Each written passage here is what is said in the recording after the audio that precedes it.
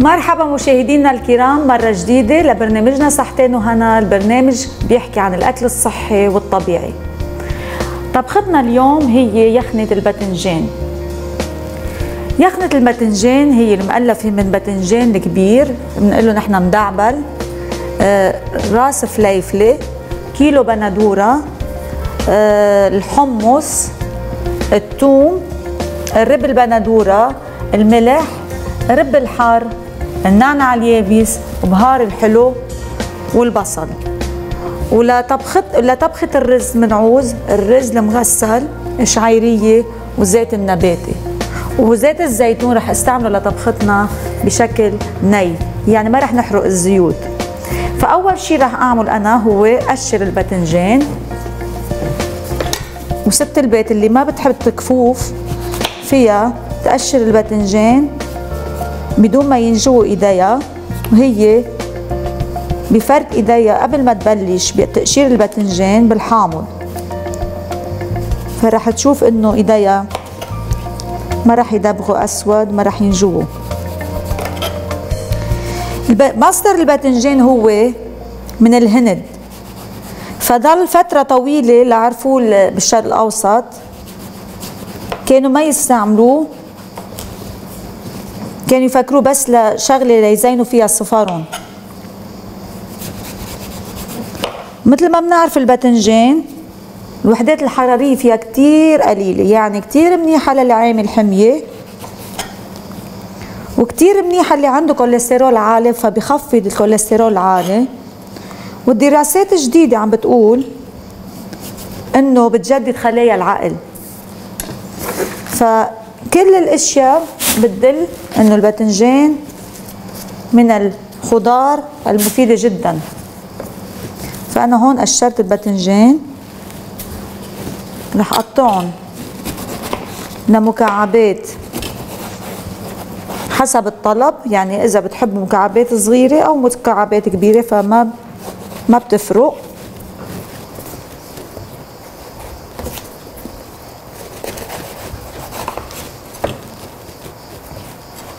على فكرة الباذنجان بيتاكل ني. في ناس ما بيعرفوا هالشي بس فينا ناكله ني. غني بالألياف. مثل ما بنعرف الخضار الغنية بالألياف بتوطي الكوليسترول. رح حطهم بقعر الطنجرة. بدون ما أحمي الزيت هلأ لأنه بدي الزيت أستفيد منه ني. لآخذ الاوميجا 3 الموجود بزيت الزيتون بدون ما يكون عندي حروق آه، دهون آه، محروقة يعني زيت محروق.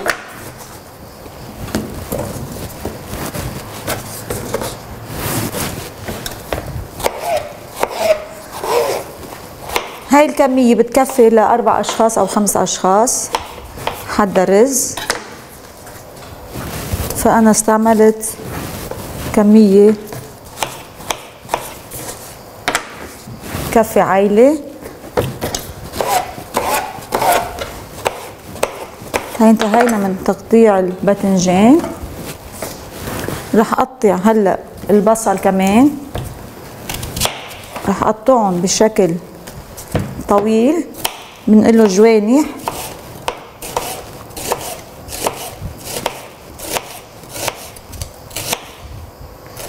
كمان البصل مفيد ني ومطبوخ فيني صغرها شوي. بتنظف الجسم من السموم.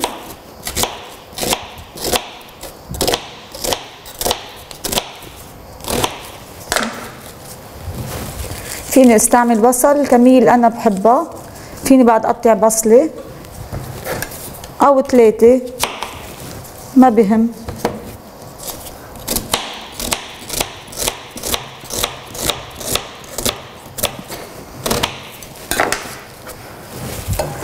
أوكي.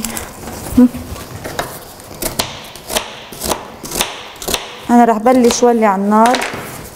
لتحمر طنجة. وكفي تقطيع. مكونات الباقية.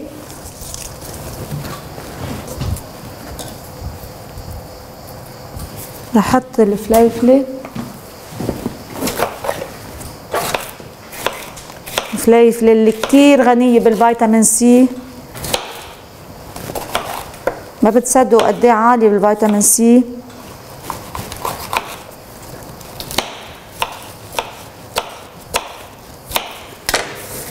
فبتحمينا من النزلات الصدرية والرشح.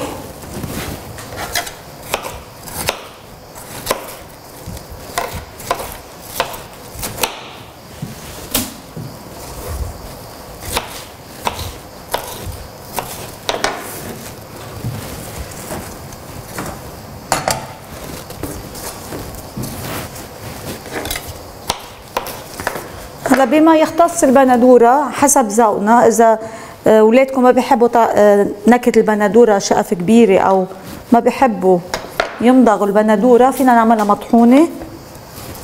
أنا هون بفضلها تكون مكعبات. نخلي القشر كمان استفيد من قشر البندورة. مثل ما ذكرنا بحلقات سابقة إنه تفيد. لسرطان البروستات.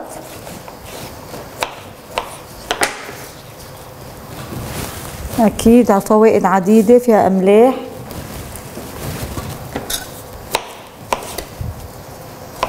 مثل ما شفتوا كله كل ما نلون الخضار بطبختنا كل ما بكون عم ناخد الفيتامينات المتنوعة.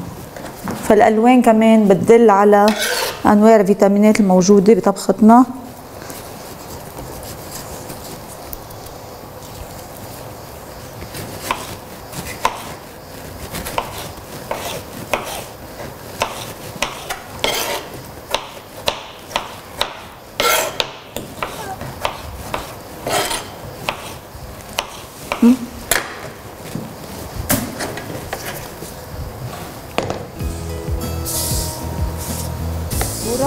بعد رح كفي أنا تقطيع البندورة الباقية عندي.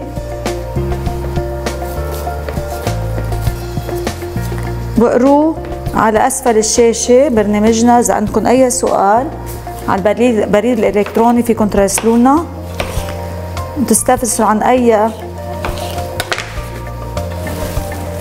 وصفة مكوناتها مقاديرها.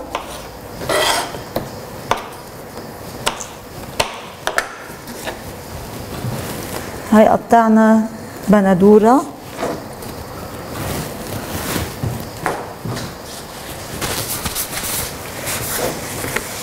رح أنا الثوم أقسمه لقسمين.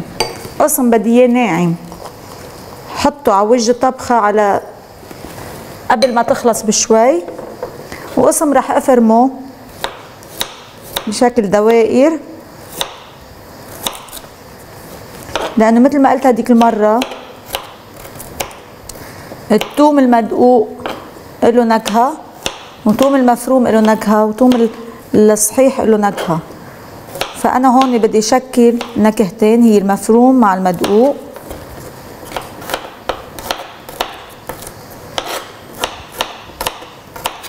والثوم كما نعرف إنه بتنزل الضغط من زمان وجاي بيستعملوه لتنزيل الضغط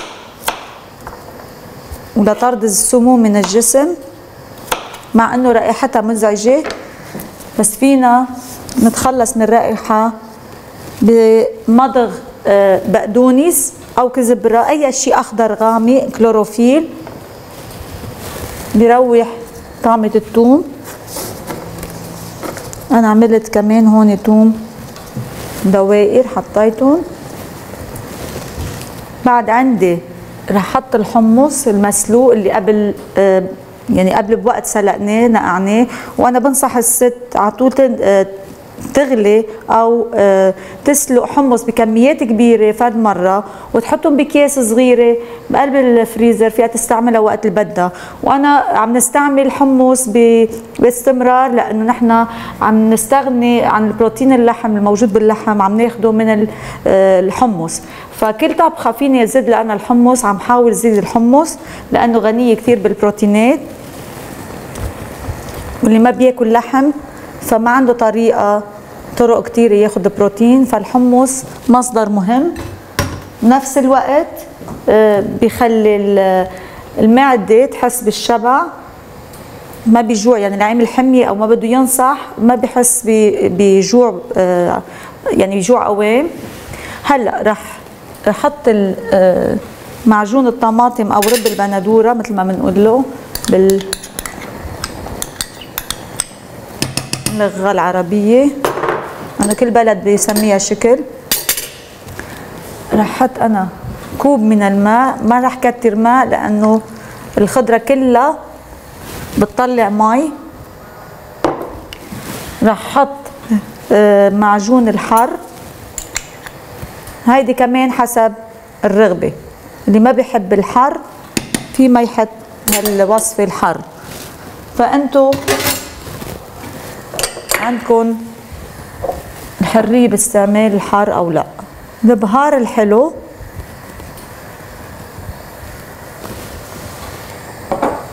الملح. واللي عنده ضغط في يحط ملح بكميات قليلة.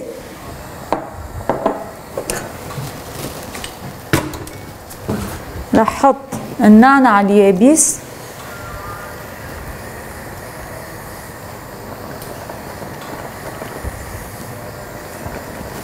كما بنعرف النعنع هو من الخضار اللي بتريح الأعصاب واللي عنده مشكلة النوم والأرق في يستعمل نعنع ونفس الوقت بتعطي آه، بتساعد على الهضم. بما إنه عندنا الحمص شوي الهضم تبعه صعب فبستعمل أنا النعنع اليابس. بتعطي نكهة طيبة بتساعد على هضم الطبخة. هلأ رح أعمل إنه رح أحط أنا زيت الزيتون الني. رح احطه على الوجه فأنا استفدت هون من زيت الزيتون بدون ما أحرقه. وأخذت الاوميجا 3 اللي بتنفعني. وبتنفع الكوليسترول السيء. تنزيل الكوليسترول السيء. هلأ أنا صار فيني أخلط الطبخة بشكل عمهلي يعني اقلبهم قلب حتى ياخذوا بعض.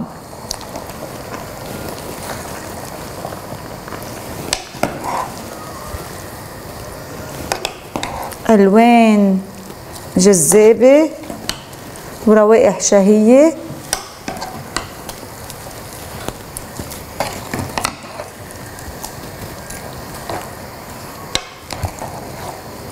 فعنا الباذنجان الغني بالألياف والواطي بالوحدات الحرارية. عندنا الفليفلة الغنية بالفيتامين سي كمان منيحة للرشح. عندنا البصل. اللي بتنقي الدم. عندنا الحمص اللي عالي بال proteins. عندنا النعنع اليابس اللي كمان بيسهل الهضم. والثوم اللي كمان بينزل الضغط وبيطرد السموم من الجسم. مثل ما ذكرت إنه آه، الباذنجان مفيد لتكوين خلايا العقل وعم بيعملوا دراسات فكتير مفيدة للي عند للمسنين يعني ليبعد آه، مرض الألزهايمر. فعم بيقولوا إنه آه، عملوا دراسات إنه الباذنجان كتير مفيد للمسنين وطبعا لكل العائلة. فأنا هون عندي الخليط صار حاضر. رح غطي الطنجرة انطرهم على نار هادية ليستووا. بهالوقت أنا رح روح هلا رح احضر الرز فتابعوا كيف أنا رح احضر الرز رح أحط الشعيرية. وقليلة من الزيت النباتي.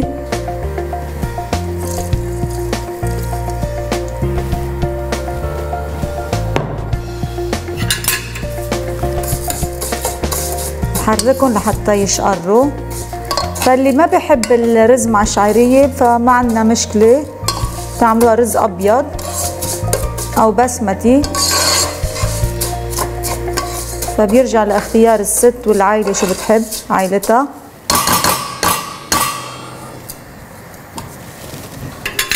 وراح حرك هون طبختي بلشت تغلي. بلشت روائح الطيبة فح من طنجرة.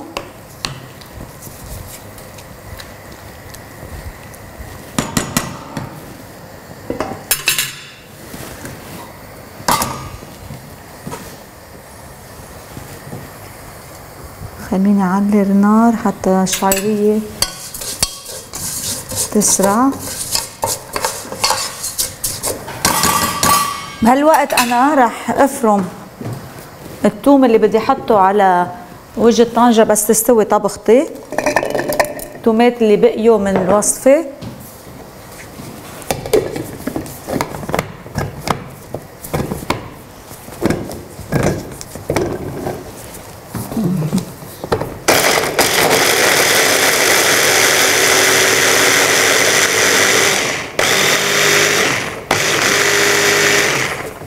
نعمهم قدر الإمكان.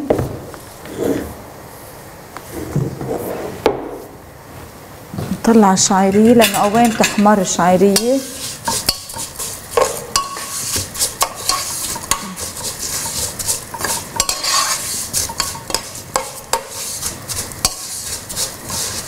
واللي بيحب ما يستعمل زيت بالمرة بالرز في يعملها رز بطنجرة البخار بيقولوا لها ستيم رايس فبهالشكل يعني ابدا ما عم ناخذ زيوت ابدا.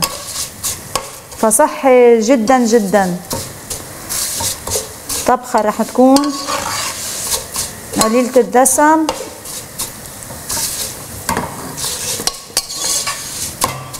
وحدات الحرارية عندها واطية. هذا الرز عندي حمار. أنا رح أحط هلا الرز اللي غسلته من قبل. الأطيب الرز إنه يتقلب مع الشعيرية المقلية.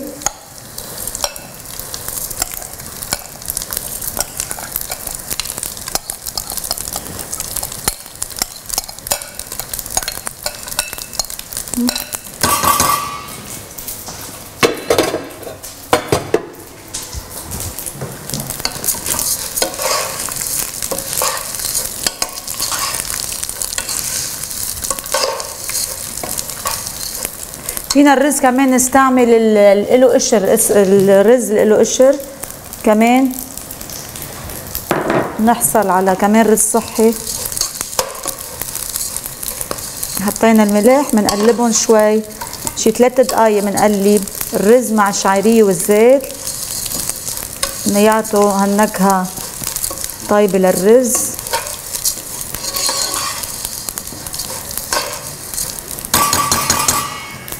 أنا هون فترت شوي مي آه، لأكسب وقت. وأنتم كمان فيكم تفتروا المي كمان إذا مستعجل الست. فما في مشكلة يا مي فاترة أو مي مسقعة ما في مشكلة. بس آه، بنعير لكل كبايه كباية رز كبايتين مي. وإذا في شعيرية رح نحسب حساب زيادة كباية لأنه الشعيريه كمان رح تاخذ مي. آه، بيرجع كمان لنوع الرز في المصري أو الإيطالي أو البسمتي. فكل نوع رز له عيار شكل. أنا هون الرز الأمريكاني. عياره لكل كباية كبايتين مي.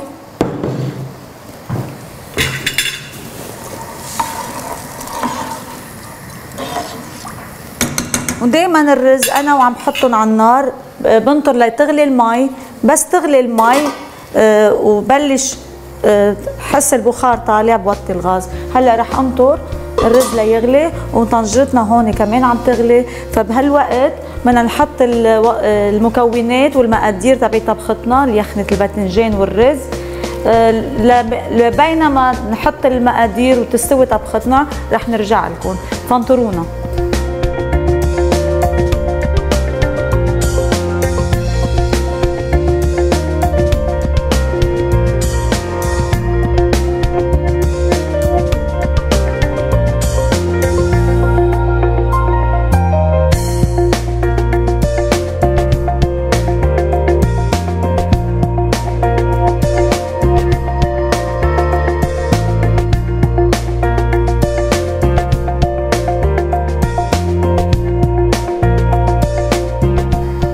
مشاهدينا آه، استوت طبختنا. فمثل ما قلنا بعد ما تستوي طبختنا رح نضيف الثوم الني لتعطيها النكهة المميزة اللي بدنا إياها من الثوم الني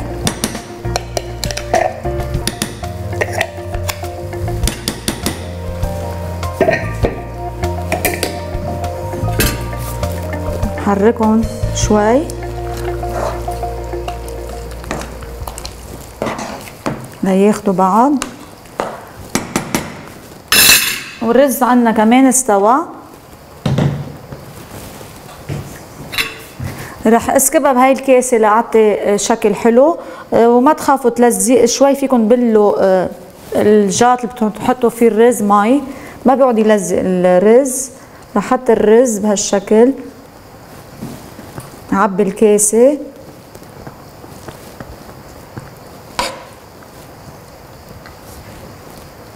ورص الرز رصهم منيح على الآخر.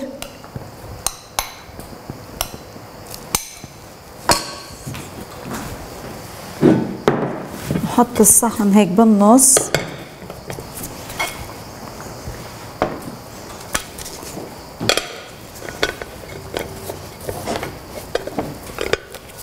أوكي نقلبها.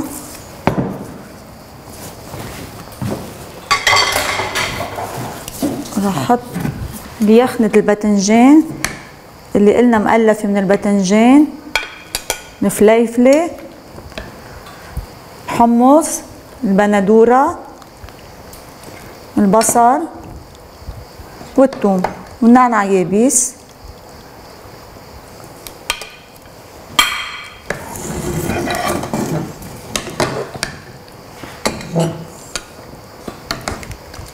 هاي طبختنا. حاضرة لنقدمها. لعائلتنا أو ضيوفنا. يخنة الباذنجان. رح نضيف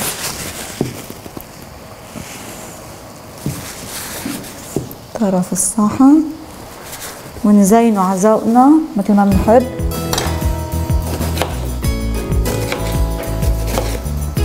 بما إنه هو في ألوان كتيرة ما رح كتر ألوان. هيك صار عنا صحن. حلو مشكل من كل الخضار والرز فبتمنى تكون حبيتوا أكلتنا. فجربوها وإلى اللقاء بحلقات قادمة من الأكل الصحي. وأي سؤال بدكم إياه فيكم على البريد الإلكتروني تتصلوا فينا وتسألوا أي سؤال. فإلى اللقاء.